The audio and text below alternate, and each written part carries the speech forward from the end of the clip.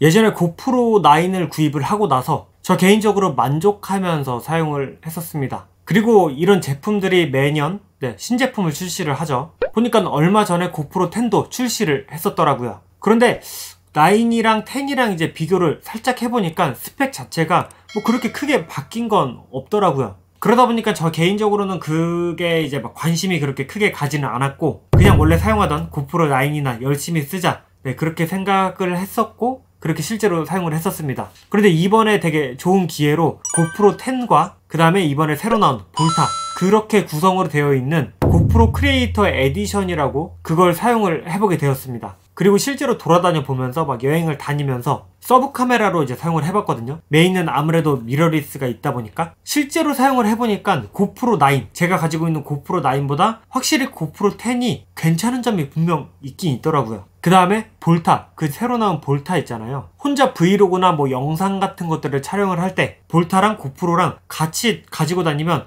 어, 정말 괜찮은 조합인데 딱 그 생각이 들었습니다. 오늘은 크롱이도 같이 할 수 있는 곳. 이 유모차는 뭐죠? 크롱이 건 줄. 어, 크롱이 그냥 바로 먹을 수 있는 건가? 크롱이 가방. 가방 예쁜 여기. 있긴 있을 것 같은데 아 맞다 다 갖고 왔지? 나는 정말 앞 앞날을 봤나 봐. 왜? 네, 크롱이 먼저 세워줘 구둥구둥.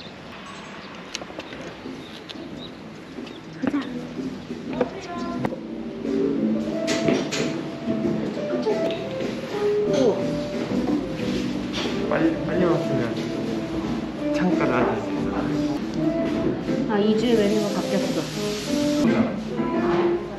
아.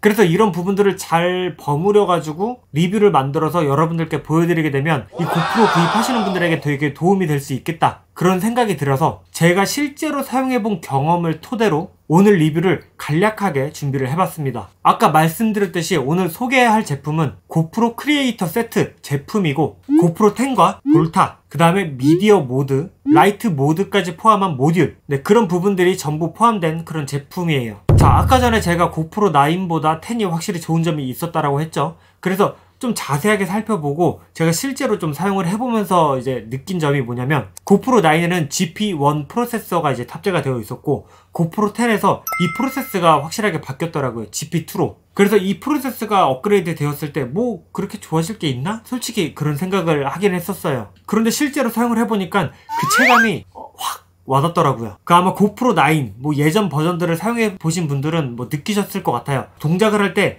뭔가 그 빠릿빠릿하지 않은 그런 느낌? 약간 굼뜬 느낌 있잖아요. 그런데 고프로 10은 그 동작하는 것 자체가 그냥 바로 즉각적으로 좀 나오는 점? 그래서 아 이런 게 프로세스가 바뀌면서 전체적으로 성능이 올라갔구나라는 생각이 네, 들긴 했습니다. 그리고 사진 같은 경우는 전작 대비 300만 화소가 네, 증가했어요. 그래서 2300만 화소로 사진을 촬영이 가능하고 동영상은 기존에 이제 제 라인 기준으로 5K 30프레임이 한 개였는데 5.3K 60프레임 촬영이 가능합니다. 그러니까 동영상을 일단 촬영을 해두고 나면 뭐 화질도 워낙 좋게 촬영됐다 보니까 크롭해서 사용할 수 있고 슬로우 버전을 모든 상황에서 어느 정도 적절하게 이용할 수 있다. 네, 그런 생각이 먼저 들더라고요.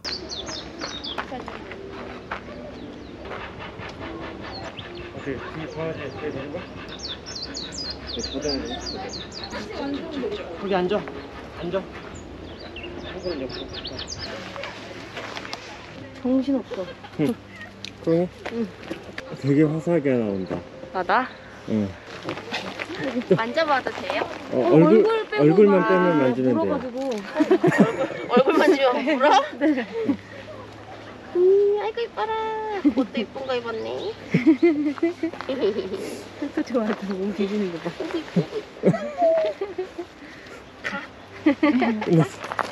그 다음에 고프로라고 하면 막강한 기능 HyperSmooth 네, 그게 원래는 3.0이었는데 4.0이 적용이 되었습니다 근데 뭐 HyperSmooth는 워낙 뛰어나다 보니까 그냥 아 더 좋아졌구나 그런 생각이 들었고 저조도 촬영에서 뭐 많이 개선되었다고 하긴 하는데 이게 솔직히 제가 사용하고 있는 미러리스를 대체할 정도는 아니고 이제는 조금 어, 촬영 가능하다 네 그 정도 수준으로 올라왔다라고 볼 수 있을 것 같아요 그 외에는 뭐 방수 10m까지 지원하고 다양한 화각들을 사용할 수 있다는 점에서 어정쩡한 카메라 여러 개 가지고 다니는 것보다 올인원 카메라가 되지 않았나 그런 생각이 들었습니다. 원래 흑돼지 공연 해야 되는데 아 공연이 있어? 정도 쉰대. 어. 뭐야 뭐야 뭐야 뭐야 형아, 얘네 흑돼지야. 그, 저 똥구 냄새 같다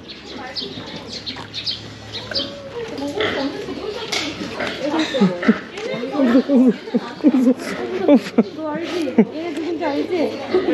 작년에 봤지? 왔어 왔어 왔어 왔어 우리 그러게 이렇게 사진하고 또 이렇게 떨어. 가자 가자 크롱아 거기에다가 여기에는 웹캠 모드가 이제 내장이 되어 있거든요. 컴퓨터에 연결해서 사용할 수가 있는 거예요. 최대 화각 132도에서 FHD까지 사용 가능합니다. 즉 지금 고프로를 구입을 해야 된다. 그러면 굳이 9버전 살 필요 없이 고프로 10, 네 이거 구입하는 게 훨씬 더 이득일 것 같아요. 그 다음에 신제품 나온 볼타 제품 있잖아요. 고프로에서 creator를 위해 출시한 새로 출시한 프리미엄 배터리 그립입니다. 그냥 셀카본 같은 거죠. 그러다 보니까 당연히 삼각대 지원을 하고요. 이 안에 배터리가 4900mAh가 내장이 되어 있다 보니까 기본적으로 고프로의 배터리가 살짝 이제 부족한 느낌 네, 그런 부분들을 이 볼타를 통해서 충족을 해주면서 휴대성까지 어느 정도 겸비되었다. 네, 그렇게 설명을 드릴 수 있을 것 같습니다. 그러니까 고프로랑 이제 볼타랑 결합을 하게 되면 5.3K 고화질 동영상을 4시간 이상 촬영이 가능합니다. 만약에 이 볼타를 빼고 고프로만 사용한다라고 하게 되면 그거 대비 한 3배 정도? 그 정도 느린 시간이라고 볼 수 있을 것 같아요. 일단 볼타랑 결합을 하게 되면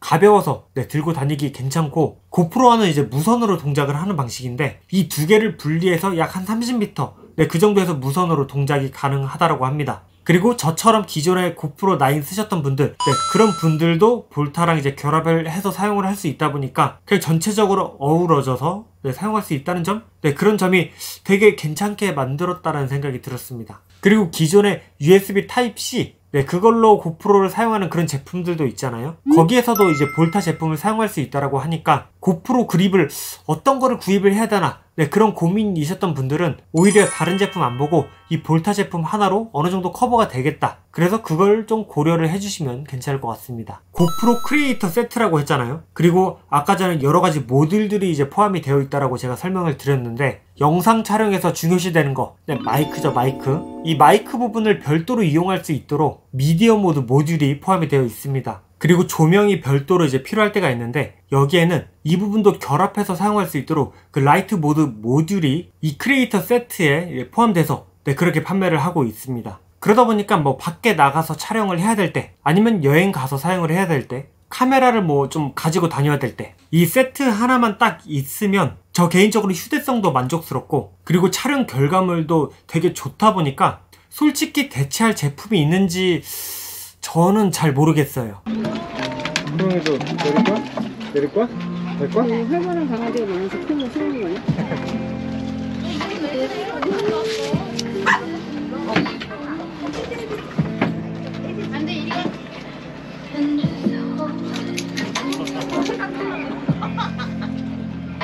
그래서 어디